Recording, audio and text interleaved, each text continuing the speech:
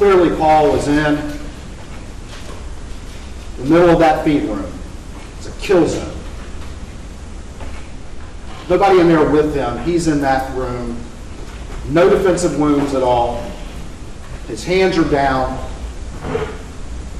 And he takes that shot, buckshot to the chest. And any person who did that would probably think that took care of business because this buckshot, but for some reason he was canted this way and it went through. It was a million and one shot. That it didn't kill him. Alex thought it did. Alex, the lawyer, Alex, the prosecutor, Alex who's thinking through that we'll see he's manufacturing an alibi, and he's also manufacturing the fact that there's two guns used.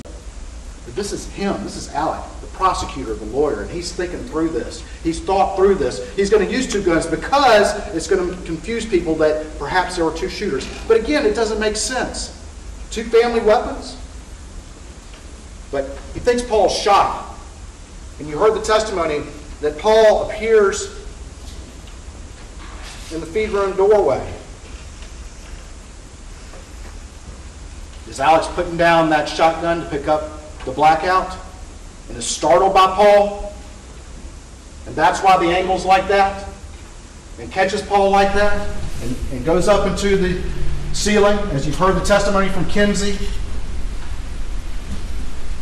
And blows blows his brains out. And what happens with Maggie right here? We see activity on Maggie's phone.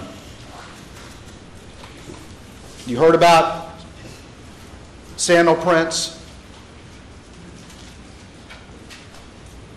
You heard from Kenny Kinsey about the mark on her leg from the Polaris over there by the overhang next to the feed room.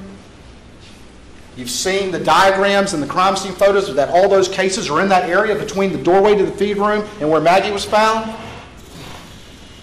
You heard that Maggie had no defensive wounds. You also heard Paul had stippling from that first shot, a close range shot, with no indication that he detected a threat from the person who fired that weapon. And why? Because it was him. Same with Maggie, because Maggie sees what happens and she comes running over there, running to her baby. Probably the last thing on her mind, thinking that it was him who had done this, she's running to her baby while he's gotten picked up the blackout and opens fire at close range, again with no defensive wounds. And she takes those two shots that you heard Dr. Riemer say were parallel, and it crumples her over. In those cases, you can see them move around. And takes that shot that goes through here, and she goes down flat.